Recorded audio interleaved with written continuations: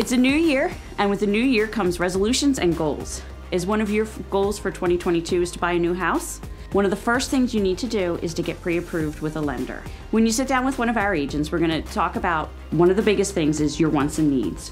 What is most important to you in your next home? Do you need three bedrooms? Do you need a backyard for your dog spot?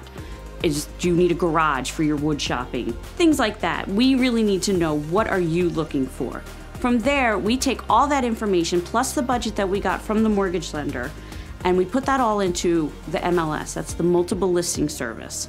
That is the website that the real estate agents use. We get firsthand knowledge of the properties that are about to come on the market and are currently on the market. Those third party websites like the Zillows, the Realtor.coms, they're all 48 hours behind from what the MLS is. We also have coming soons on the MLS, which basically means that the property is about to come on the market, but it's not quite on the market yet. Those are not shown on the third party websites. But if you sign up with one of us and you get these automated searches, you can get a first look at a property that's about to come on the market. It's kind of like getting the inside scoop.